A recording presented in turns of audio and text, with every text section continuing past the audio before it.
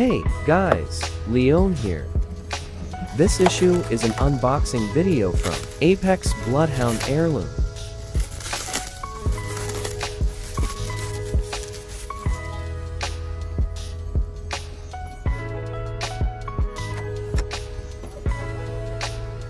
The weapon is made of metal, with a one-to-one reproduction of the game model.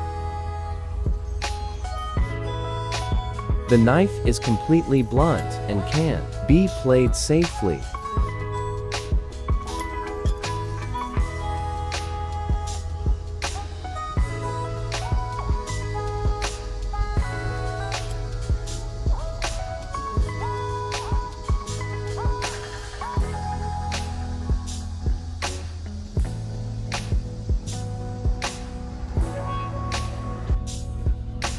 There is also a black version.